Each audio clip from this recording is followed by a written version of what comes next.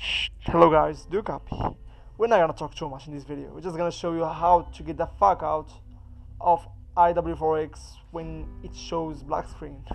Because anyone stuck there and turn off PC or or reboot the PC. So we're not gonna get into this. So wait, as you can see, IW4X if it's still black screen. Yep, like this. So it's black screen. I can't go out I press Windows D and see nothing, nothing, nothing. I press this, I press Alt uh, shop. or Alt Charge, nothing. Guys, just press Windows tab, Windows plus tab. Yeah, it's gonna give you this Windows plus tab.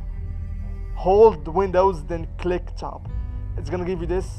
Do new desktop, click and desktop 2 and now go task manager and uh, yep not responding and task.